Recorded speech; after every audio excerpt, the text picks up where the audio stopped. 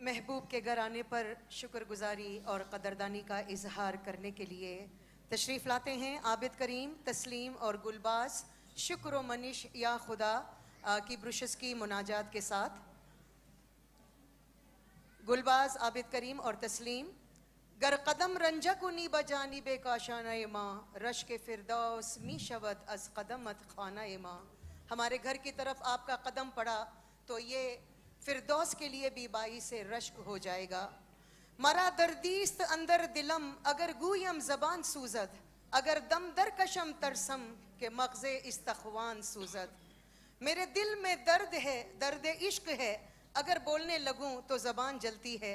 अगर ना बोलूँ और सांस को अंदर लूँ तो डरता हूँ कि मेरी हड्डियों का गूदा जलेगा। तशरीफ़ लाते हैं आबिद करीम और गुलबाज और तस्लीम। शुक्र मनीष या खुदा